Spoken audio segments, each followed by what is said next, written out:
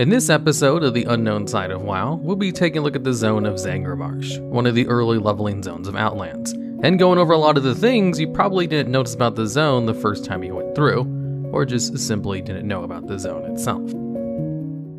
Located just outside the village of Zabra'jin in Zangarmarsh is an NPC named Mack Diver, the Master Engineer.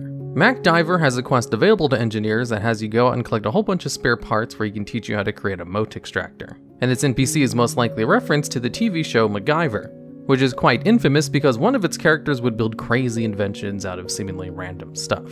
As when you complete the quest for Mack Diver, he has dialogues which states, Alright, now if we only had a stretchy loop, a parchment clamp, a guzzle tube, and some sticky duck ribbon, then we could really make something. Which just further enforces the reference as MacGyver, as in the TV show, some of the items he would carry around with him at all times were a Swiss Army knife, duct tape, matches, a few paper clips, chewing gum, and a flashlight. Which is kind of similar to the stuff Mack Diver was mentioning. Over on the Alliance side, there's also an engineer trainer called K. Lee Smallfry, which is a reference to Kaywinnet Lee Frye from the TV series Firefly. In the TV show, Kaylee is depicted as a good natured, optimistic mechanic who was able to fix any problems a ship might have. So, having her reference be a gnome character, who are regularly optimistic and good natured characters, seems pretty fitting. There's also an item you can fish out of Steam Pump Flotsam in Zangarmarsh called the Strange Engine Part, which has the flavor text, it reads like Capsin 38 on the bottom. When you accept the quest, it sends you over to K. Lee Smallfry, who remarks that the item looks like it fell out of the sky, and she'll pay you for your troubles. The flavor text and dialogues in the quest are references to the Firefly movie Serenity where in the movie, there's a scene where the mechanic she's based on says, and don't fly in anything with a Capsian 38 engine, they fall right out of the sky. Also, funny enough, the quest item can be looted by Horde players, but they're not actually able to receive any quest from it. In Warlords of Draenor, the entire expansion is basically an isekai anime, where your characters go to another dimension which takes place about 30 years in the past in Draenor, which is the planet where Outlands and Zangarmarsh are located. And of all of the seven original zones from Outlands, only five of them are represented within Warlords of Draenor as a place you can actually go to. Zangarmarsh was just a fully underwater zone that had maybe one or two quests that would send you there, but otherwise was completely unused. The other zone was the Netherstorm, which Blizzard talked about a lot in BlizzCon panels as being Farahlon, and the zone was cut late in development, so there was a lot of promotional material about it, and it even had a budget for it on the world map although there weren't really any plans for the Zangar Sea in Warlords of Draenor, other than maybe giving it a fungal whale world boss. Though if you do ever explore underwater, you can see all the mushrooms which are very reminiscent of the Outlands version of it, even if a lot of these mushrooms and spores are supposed to be highly toxic and dangerous. In lore, Zangarmarsh is an absolutely terrible place to be in as we get a nice description of it from the Illidan novel from Maev's point of view, where she says, Zangarmarsh was a monstrous place, a boggy fell-lent filled with alien horrors.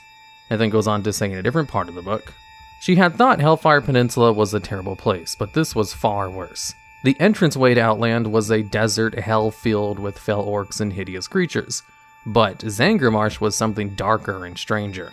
It was hot and humid and dank, Huge mushroom trees, larger than the towering oaks of Ashenvale, blocked out the sun. Manta like flyers flitted through their shadows, and things part jellyfish, part alien monster floated through the air. True, there were fewer orcs, but there were other menaces. After smashing through the host of Ravagers, the Watchers had been attacked by a giant ambulatory fungus. They had been ambushed by ogres and swarmed by huge stinging insects. She had lost Colia to tiny grubs that had emerged from her flesh after she had been stung, the vermin eating her eyes and her brain. Another death that ultimately could be laid at the feet of Illidan. There's also some other parts where she mentions that the spores in the air constantly grow fungus on their skin, and that only carefully cleaning and the use of healing magic could take it off. As in game, Zangarmarsh is just a neat looking leveling zone, and doesn't feel anywhere near as dangerous as it's described in the book. So it was actually kind of a shock to read this segment, to see how dangerous it's supposed to be. In three different spots in Zangarmarsh, there are three NPCs which are references to tissue paper and blowing your nose, as spores in the air are responsible for a lot of allergies. So it's appropriate that a lot of the spore-like creatures in the zone have parody names based on these things. More specifically, the NPCs, Gzhun'tt, which sounds like Gesundheit, which is a polite thing you can say to someone after they sneeze. There's also Khn'nix, which sounds like Kleenex, a popular brand of tissue paper. And finally, T'shu, which literally just sounds like tissue. Speaking of tissue, currently this NPC offers a quest called Bring Me a Shrubbery, and has another quest called Bring Me Another Shrubbery. Both of these are references to the movie Monty Python and the Holy Grail, in which the characters are asked by the Knights of Ni in order to go out and fetch a shrubbery for them as part of a quest. O Knights of Ni, we have brought you your shrubbery. May we go now? It is a good shrubbery. I like the laurels particularly. But there is one small problem. And after they return with the shrubbery, they're told to go out and collect another shrubbery. Located just to the east of the spawning glen is an NPC sporeling named Fahssn. This NPC is most likely a reference to the spawn of Fashan, which is a tabletop RPG that was released in 1981, which is infamous for being absolutely terrible.